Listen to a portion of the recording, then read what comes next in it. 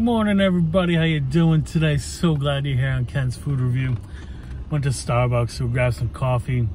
Did try something new. We got the vanilla cr sweet cream cold brew. Let's try it out.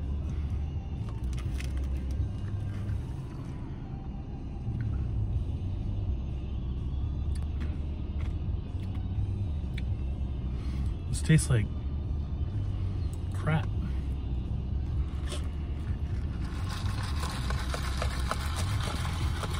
Starbucks doesn't usually let me down.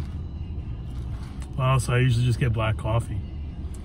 This tastes like hot swill, a cold swill.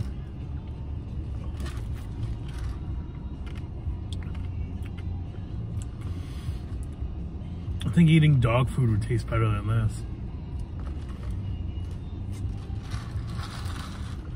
I just keep trying to drink it, hoping that it gets better like a bad car accident. You just can't stop staring at it. You know, everyone's just got a rubberneck.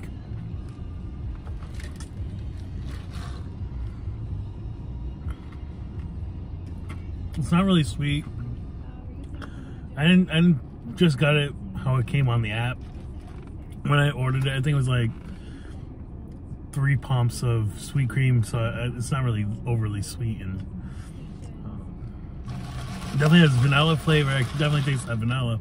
You can't taste the coffee. It's just straight vanilla, a little bit of sweet. Wow. Getting some of that caffeine kicking in with that cold brew. It's good. It's alright. Man, I, I, I, act like Betty White sometimes without, without caffeine, you know?